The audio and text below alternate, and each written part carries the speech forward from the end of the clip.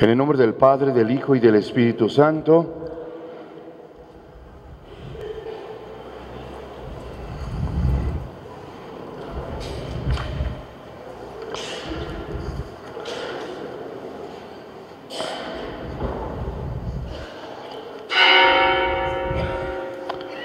Que la gracia y la paz de parte de Dios y de Jesucristo, que nos amó y nos purificó de nuestros pecados, con su sangre esté siempre con todos ustedes.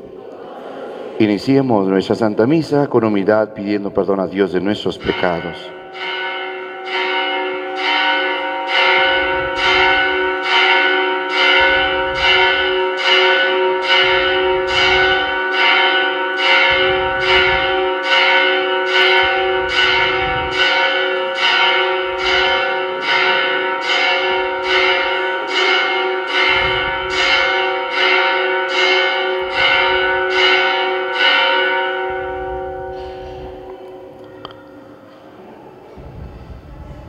Tú que conoces nuestros pensamientos, Señor, ten piedad. Tú que iluminas las tinieblas de nuestro corazón, Cristo, ten piedad. Tú que nos exhortas a una sincera conversión, Señor, ten piedad. Dios Todopoderoso, tenga misericordia de nosotros, perdone nuestros pecados y nos lleve a la vida eterna. Oremos. Cuida, Señor, a tu iglesia con tu constante benevolencia, y ya que sin ti desfallece la humana fragilidad, presérvala de los peligros y encamínala siempre hacia lo que le trae la salvación. Por nuestro Señor Jesucristo, tu Hijo, que vive y reina contigo en la unidad del Espíritu Santo y es Dios por los siglos de los siglos. Sentados, escuchemos con mucha atención la palabra de Dios. Fijémonos bien lo que presenta el libro del profeta Isaías. Del libro del profeta Isaías. Oigan la palabra del Señor, príncipes de Sodoma. Escuchen la enseñanza de nuestro Dios, pueblo de Gomorra. Lávense y purifíquense. Aparten de mi vista sus malas acciones Dejen de hacer el mal, aprendan a hacer el bien. Busquen la justicia, auxilien al oprimido, defiendan los derechos del huérfano y la causa de la viuda. Vengan pues y discutamos, dice el Señor. Aunque sus pecados sean rojos como la sangre, quedarán blancos como la nieve. Aunque sean encendidos como la púrpura, vendrán a ser como blanca lana. Si son ustedes dóciles y obedecen, comerán los frutos de la tierra. Pero si se obstinan en la rebeldía, la espada los devorará. Palabra de Dios. Te alabamos, Señor. Muéstranos, Señor, el camino de la salvación. Muéstranos, Señor, el camino de la salvación. No voy a reclamarte sacrificios, dice el Señor, pues siempre están ante mí tus holocaustos. Pero ya no aceptaré becerros de tu casa ni cabritos de tus rebaños. Muéstranos, Señor, el camino de la salvación. ¿Por qué citas mis preceptos y hablas a toda hora de mi pacto? Tú que detestas la obediencia y echas en saco roto mis mandatos. Muéstranos, Señor, el camino de la salvación. Tú haces esto y yo tengo que callarme. ¿Crees acaso que yo soy como tú? No, no, yo te reprenderé y te echaré en cara tus pecados. Quien las gracias me da, ese me honra, y yo salvaré al que cumple mi voluntad. Muéstranos, Señor, el camino de la salvación.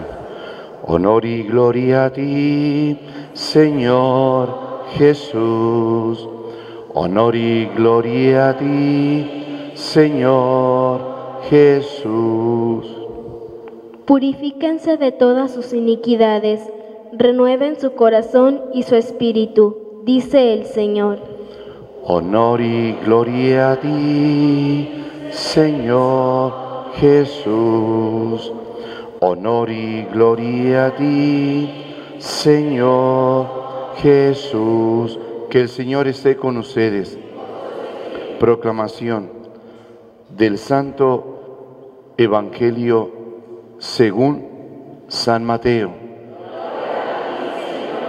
En aquel tiempo Jesús dijo a las multitudes y a sus discípulos, en la cátedra de Moisés se han sentado los escribas y fariseos. Hagan pues todo lo que les digan, pero no, imiten sus obras, porque dicen una cosa y hacen otra.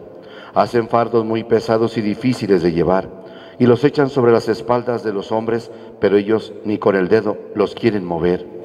Todo lo hacen para que los vea la gente. Ensanchan las filacterias y las franjas del manto. Les agrada ocupar los primeros lugares en los banquetes y los asientos de honor en las sinagogas les gusta que los saluden en las plazas y que la gente los llame maestros. Ustedes, en cambio, no dejen que los llamen maestros, porque no tienen más que un maestro, y todos ustedes son hermanos. A ningún hombre sobre la tierra lo llamen Padre, porque el Padre de ustedes es, solo el Padre Celestial. No se dejen llamar guías, porque el guía de ustedes es solamente Cristo. Que el mayor de entre ustedes sea su servidor, porque el que se enaltece será humillado y el que se humilla será enaltecido. Palabra del Señor. Gloria a ti, Señor Jesús. Sienten su momentito, hijos. Al escuchar el Evangelio, Cristo Jesús habla de esta manera porque le han dicho que los líderes del pueblo de Israel los fariseos principalmente, que se llaman, se dicen puritanos, dicen una cosa y hacen otra. Y entonces a ellos les exigen cumplir la ley, pero ellos no la cumplen. Los preceptos y ellos no los cumplen. Entonces Cristo dijo, miren, en la cátedra, hemos dicho que la cátedra es eso, ah, lugar donde ellos exponían la doctrina eh, de la ley judía. La cátedra era precisamente ellos como maestros lo que enseñaban, pero eran incoherentes con su propia vida.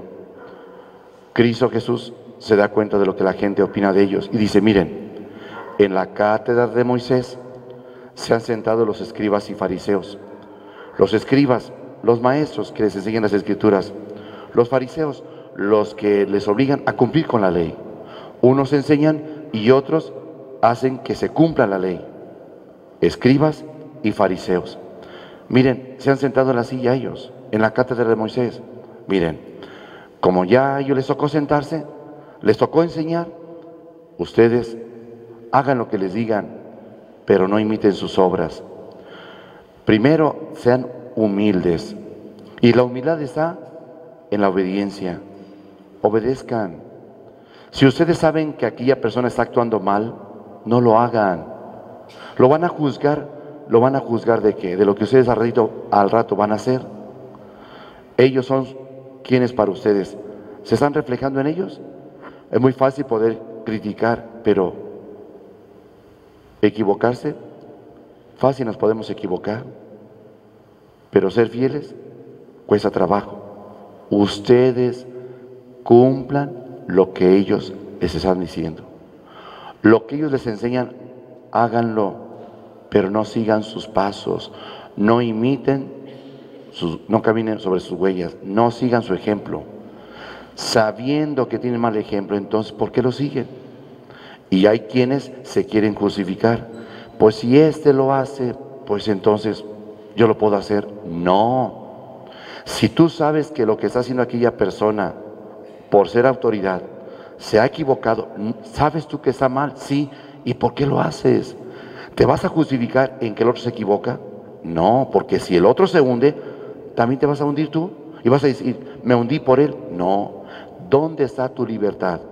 Tú tienes una libertad. Dios te creó con libertad. Y si tienes la libertad para decidir, entonces ¿por qué tú no decides? ¿Por qué te dejas guiar por el montón? Ese es un error tuyo. No puedes hacer eso. Por eso Cristo, cuando está hablando, les dice cómo es la soberbia de ellos les gusta ocupar los mejores lugares en, eh, las, eh, se paran en las esquinas de las plazas para que la gente los salude, en las sinagogas ocupan los mejores lugares, en los grandes banquetes ocupan siempre la cabecera de la mesa para que todo el mundo los vea y llama la atención. Esa es soberbia. ¿Hacen eso? Sí, porque proyectan su altanería. Son altaneros. Y quieren que todo el mundo los llame maestros. Maestros. Y entonces Cristo dice, a ninguna persona sobre la tierra le llamen maestro. Ustedes son hermanos. Tampoco le llamen a nadie padre porque ustedes tienen solamente un padre y está en el cielo. A nadie le llamen guía. Cuando Cristo habla de esto, debe de quedar muy claro lo que Él quiere que hagamos. Primero nos ha presentado al altanero, al soberbio, al que enseña pero no con la vida, no da ejemplo con su propia vida, puede hablar muchas cosas pero no es coherente con la propia vida. Yo voy a hacer lo mismo que él para quererme justificar en sus errores, estoy mal. Eso jamás lo puedo hacer, nunca. Eso no es motivo para que yo cometa la misma tontería. Y uno que tiene que hacer, precisamente tengo la libertad para poder discernir y yo sé que aquello no está bien, entonces no lo hagas. Tienes que discernirlo, pero no te quieras justificar con los defectos de los demás. No te justifiques. Eso no tiene razón de ser. ¿Cómo si sabes que aquel, alimento hace daño y dices tú, pues si lo está comiendo, yo también lo voy a comer? Pero aquel te va a hacer daño, ¿te lo comes? No. ¿Y cómo lo que el otro hace, lo haces tú para quererse justificar? Pues no. Por eso viene entonces Padre, Maestro y Guía. ¿Qué significa?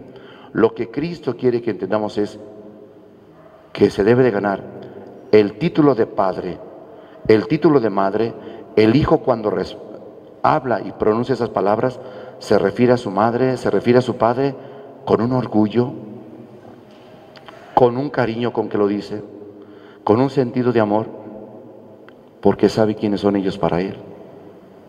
Aún así, ve a sus padres y a su madre y no los cree perfectos, pero los cree mejores, lo mejor para Él. No serán la familia perfecta, no será la familia perfecta, pero para Él son lo mejor que se ha encontrado porque dice mucho la experiencia del sentir, porque siento la experiencia de mi Padre, el amor de mi Padre, sus palabras de mi Padre, sus consejos de mi Padre, aún sus propios regaños y demás, yo lo siento. Y siento que todo lo hace con amor por el bien mío. Y sé cómo mi Padre me ha sacado adelante con su esfuerzo, sacrificio, sus desvelos, sus entregas, todo eso con amor para bien mío. Por eso se gana ese reconocimiento con amor, por el amor. Porque se han hecho las cosas con amor, para el amor, para vivir en el amor. Por eso Cristo no se opone a que alguien le digas padre. Quiere decir a todos los padres de familia, ¿qué sientes respecto de tus hijos? No, yo sé que no me quieren ellos para querer a su madre, siempre se acercan a ella. ¿Y tú qué has hecho para ganarte el cariño de ellos? ¿Estás con ellos? O solamente por el simple hecho de que dices, yo soy su padre, me tienen que obedecer y demás, está bien. Pero te pregunto, ¿te los has ganado con el cariño, con el amor?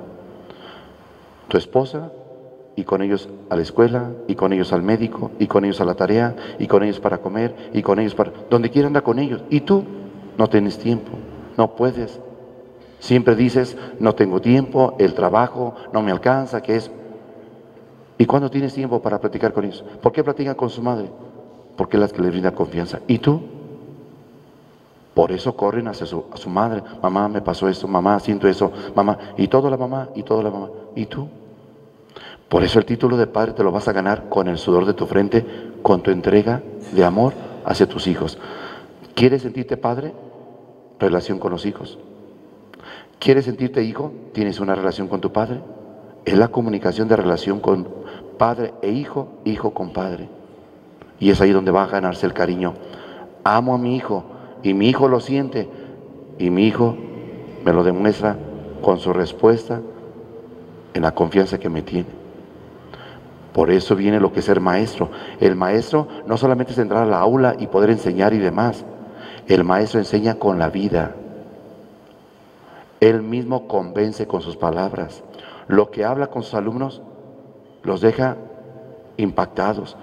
Y los deja impactados porque saben, ellos mismos se dan cuenta que sabe, son conscientes de que prepara su clase, que enseña, da ejemplos y lo ven en su propia vida coherente.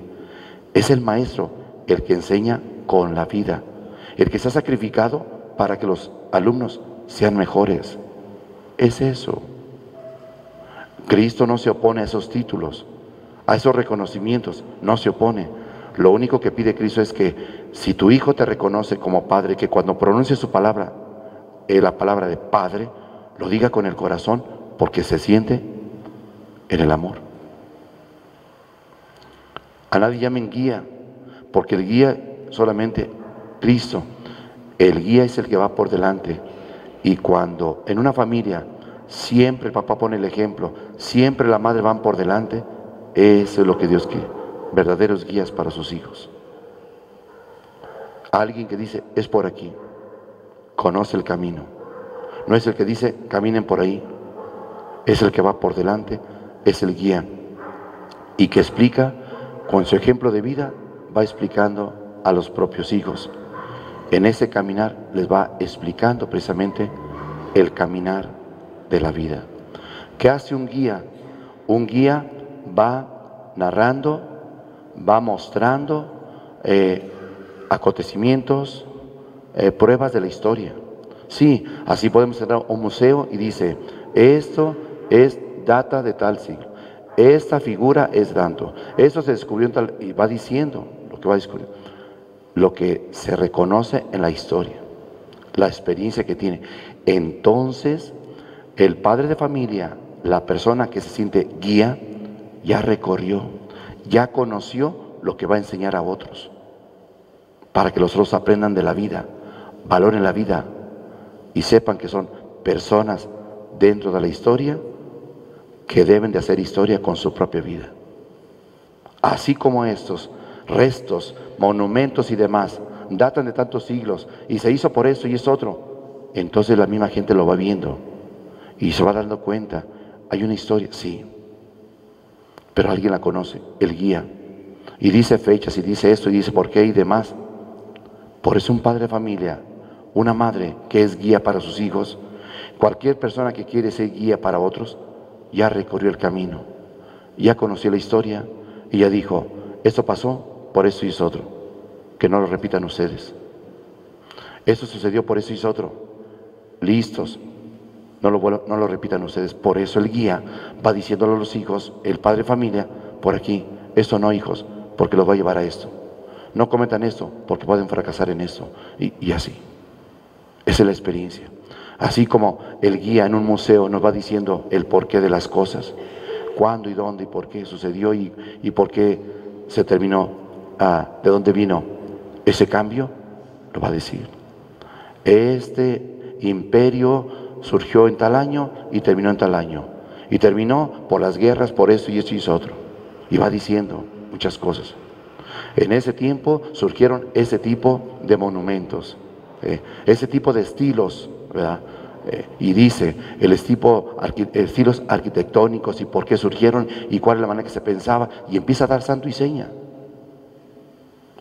Y un padre de familia dice, hijo, la historia me ha enseñado esto, por aquí es el camino.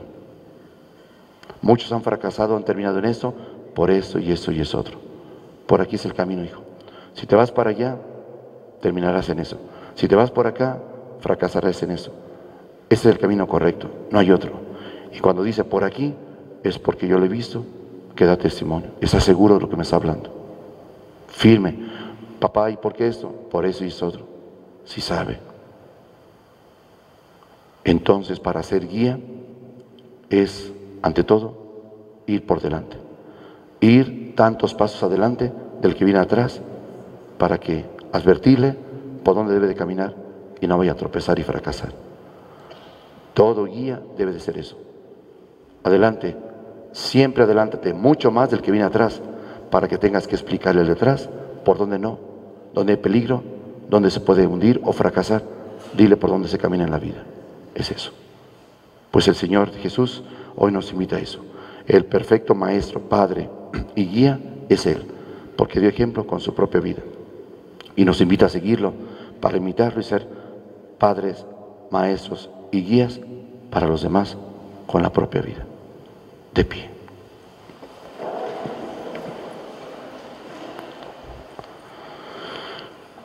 Oremos hermanos a Dios nuestro Padre que es bueno para todos y ama entrañablemente a los hijos que ha creado. Responderemos, Padre bueno, escúchanos.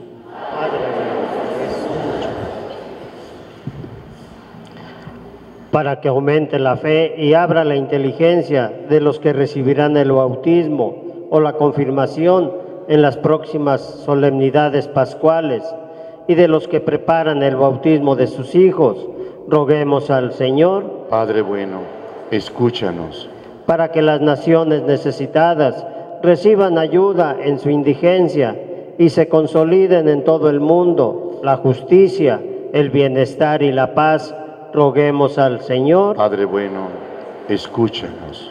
Para que los que sufren tentación o tristeza sean sostenidos por la gracia de Dios y ayudados por la oración constante de la Iglesia, roguemos al Señor. Padre bueno, escúchanos.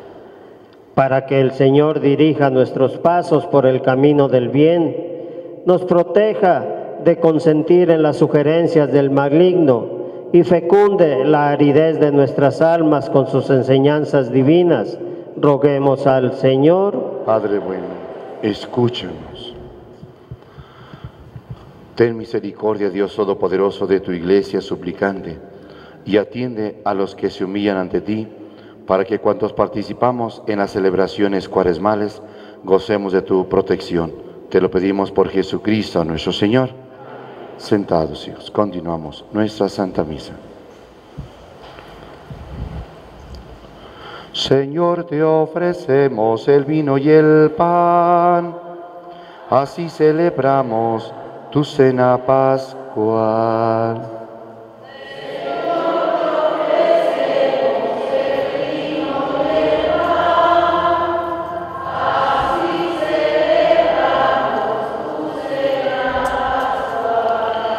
Porque solo tú eres bueno, Señor. Queremos cantar tus misericordias. ¿Quién podrá cantar?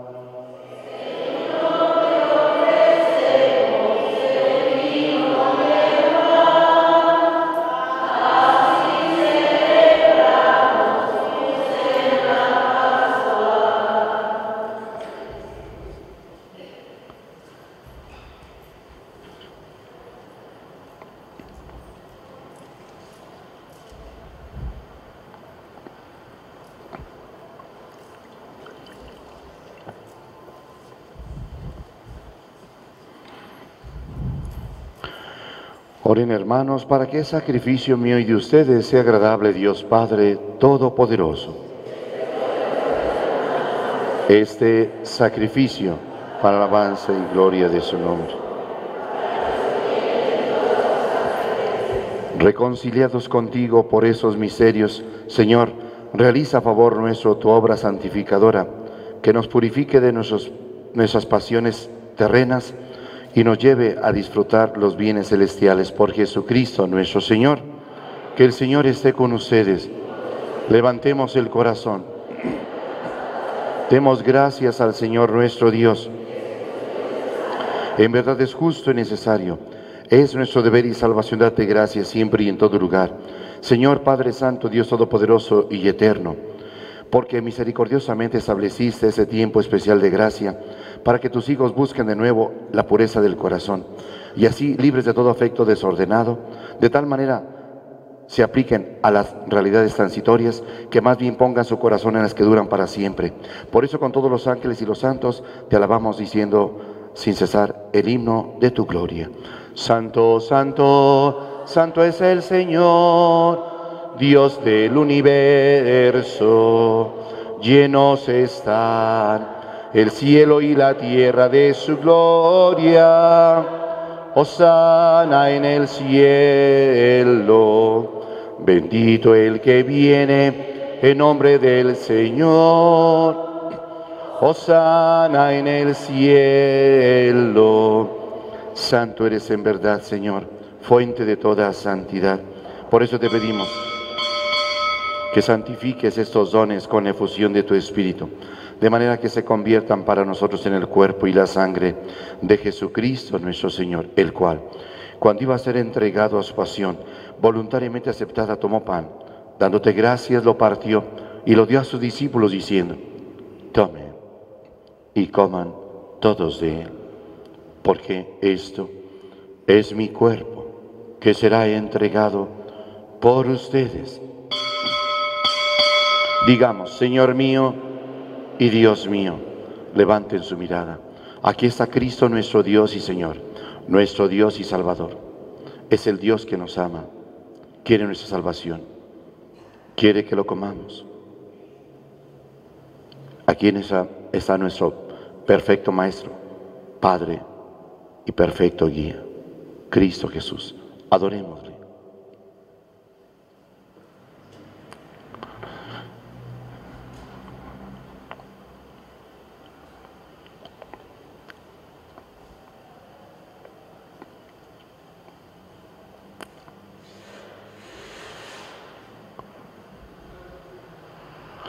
Pidámosle a Cristo Jesús que en nombre de Santísima Madre la Virgen María nos bendiga, nos proteja y nos libre del enemigo al igual que nuestras familias. Digámosle, oh corazón inmaculado de María, con la llama de tu amor, ciega el enemigo malo.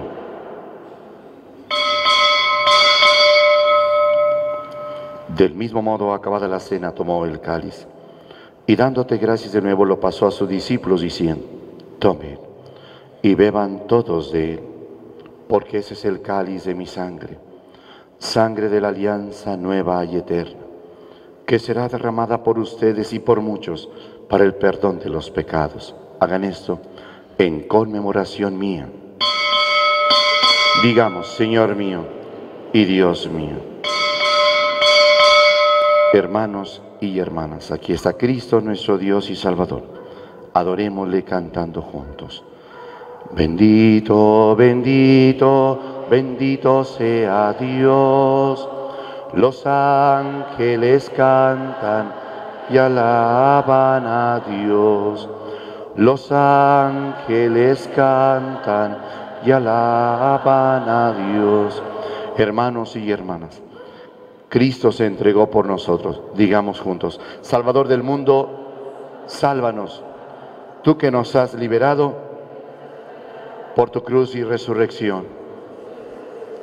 Así pues, Padre, al celebrar ahora el memorial de la muerte y resurrección de tu Hijo, te ofrecemos el pan de vida y el cáliz de salvación, y te damos gracias porque nos haces dignos de servirte en tu presencia. Te pedimos humildemente que el Espíritu Santo congregue en la unidad a cuantos participamos del cuerpo y sangre de Cristo. Acuérdate, Señor, de tu iglesia extendida por toda la tierra y con el Papa Francisco, con nuestro obispo Alfonso, su obispo auxiliar Juan, y todos los pastores que cuidan de tu pueblo, llévala a su perfección por la caridad.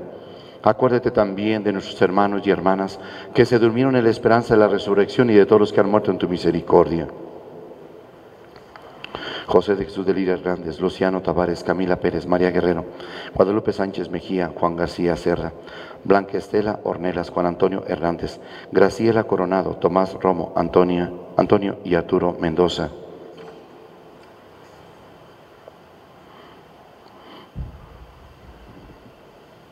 Por todos los sacerdotes difuntos, por todas las benditas ánimas del Santo Purgatorio y por los que han muerto de una manera trágica y violenta. Admítelos a contemplar la luz de tu rostro. Ten misericordia de todos nosotros.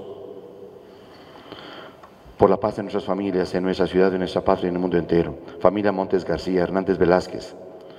Por las personas que se encomiendan a nuestras oraciones por sus necesidades espirituales y materiales. Verónica Guadalupe Mora González. María Paula Tavares, un año más de vida. María Guadalupe Tavares por su salud, por los enfermos del alma y del cuerpo, por su conversión, por su salud. María del Pilar Salazar, Natalia Rodríguez, Carlos Muñoz López, familia González Horneras, familia Rodríguez Navarro. Navarro Rodríguez, González Rodríguez, Navarro Franco, Antonia Tavares Soto, Luis Daniel Solís Tavares, familia Méndez Morales, Méndez Medina, Gómez Méndez, Virginia Almaguer, familia Pérez Medina. Por María del Carmen Sotelo Moreno. Agradece a Dios un año más de vida. por sus necesidades espirituales y materiales. Todas las intenciones las presentamos por manos de María, nuestra Madre, en las manos de Cristo, para que Él las presente a nuestro Padre Dios y se haga su voluntad. Y así con María la Virgen, Madre de Dios, su esposo San José, los apóstoles, y cuantos vivieron en tu amistad a través de los tiempos, merezcamos por tu Hijo Jesucristo compartir la vida eterna y cantar tus alabanzas. Por Cristo, con Él y en Él, a ti Dios Padre Omnipotente, en la unidad del Espíritu Santo, todo honor y toda gloria por los siglos de los siglos, fieles a la recomendación del Salvador. Y siguiendo su divina enseñanza nos atrevemos a decir, Padre nuestro que estás en el cielo, santificado sea tu nombre, venga a nosotros tu reino, hágase tu voluntad en la tierra como en el cielo. Danos hoy nuestro pan de cada día, perdona nuestras ofensas como también nosotros perdonamos a los que nos ofenden. No nos dejes caer en la tentación y líbranos del mal. Líbranos de todos los males, Señor, y concédenos la paz en nuestros días, para que, ayudados por tu misericordia, vivamos siempre libres de pecado y protegidos de toda perturbación. Mientras esperamos la venida gloriosa de nuestro Salvador, Jesucristo. Señor Jesucristo, que dijiste a tus apóstoles, la paz les dejo, mi paz les doy.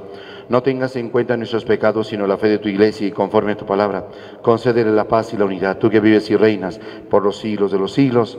Hermanos y hermanas, que la paz de Cristo Jesús, nuestro Dios y Salvador, esté siempre con todos ustedes. Cordero de Dios, Cordero de Dios, que quitas el pecado del mundo, ten piedad de nosotros ten piedad de nosotros, Cordero de Dios, Cordero de Dios, que quitas el pecado del mundo, ten piedad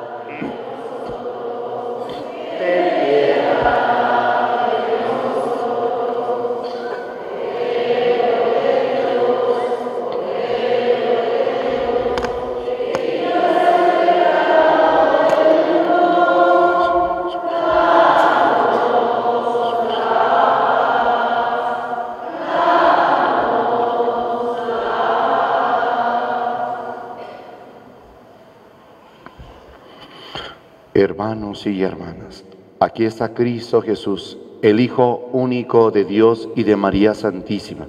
Es el Señor vivo y resucitado.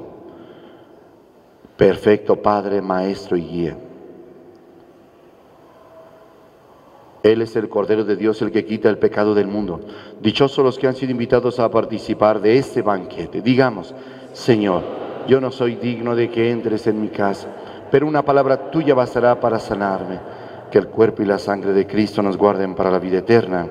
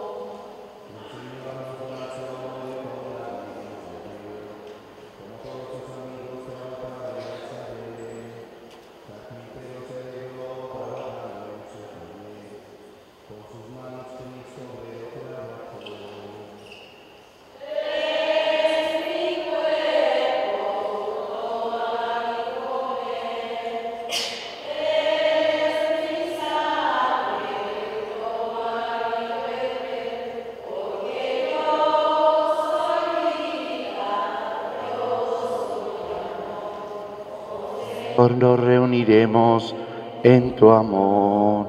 El Señor nos da su amor como nadie nos lo dio. Era tan grande y tan hondo que murió sobre una cruz. Era tan fuerte su amor que de la muerte triunfó. De la tumba sale libre y vencedor. Es mi cuerpo, tomad y comed. Es mi sangre, tomad y bebed.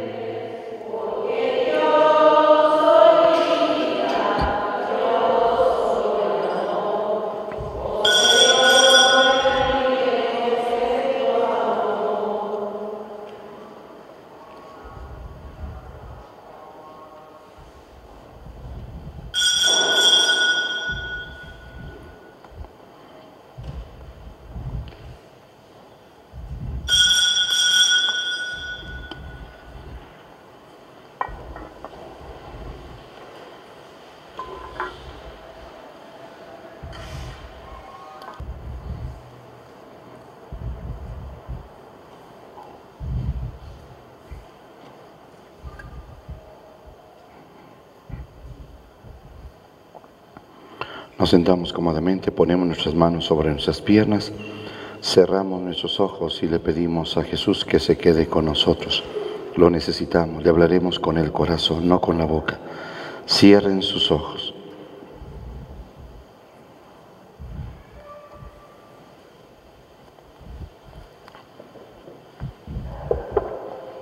Quédate conmigo, Señor, porque es necesario tenerte presente para que yo no te pueda olvidar. Tú bien sabes que tan fácilmente te abandono. Quédate conmigo, Señor, porque yo soy débil y necesito de tu fortaleza para no caer frecuentemente. Quédate conmigo, Señor, porque tú eres mi vida y sin ti yo estoy sin fervor. Quédate conmigo, Señor, porque tú eres mi luz y sin ti yo estoy en la oscuridad. Quédate conmigo, Señor, para mostrarme tu voluntad. Quédate conmigo, Señor, para que yo pueda escuchar tu voz y seguirte. Quédate conmigo, Señor, porque yo deseo amarte mucho y que siempre me acompañes. Quédate conmigo, Señor, para que yo solo sea fiel a ti. Quédate conmigo, Señor, para que en mi alma encuentres un lugar de consuelo y yo encuentre en tu corazón un nido de amor. Quédate conmigo, Señor porque se hace tarde y el día está terminando y la vida pasa. Quédate conmigo, Señor, porque la muerte, el juicio y la eternidad se acercan y es necesario renovar mi fortaleza para que yo no pare en el camino. Quédate conmigo, Señor, porque la muerte se aproxima y tengo miedo a la oscuridad, a las tentaciones, al desierto, a la cruz y a los sufrimientos. Quédate conmigo, Señor Acompáñame en todo momento y déjame reconocerte, como lo hicieron tus discípulos en la fracción del pan, para que la comunión eucarística sea la fuerza que me sostiene y el único gozo en mi corazón.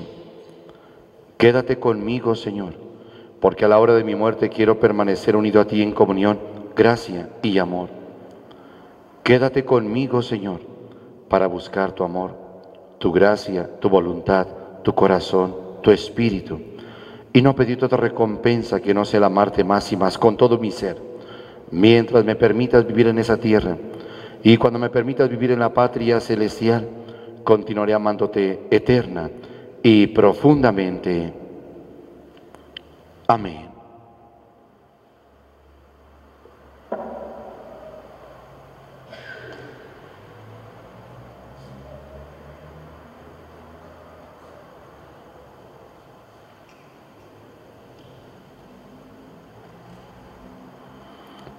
Vayamos abriendo nuestros ojos poco a poco.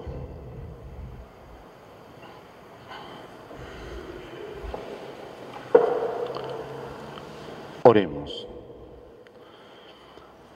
Que la participación en tu mesa sagrada, Señor, nos conceda crecer en santidad y nos obtenga el auxilio continuo de tu misericordia por Jesucristo, nuestro Señor.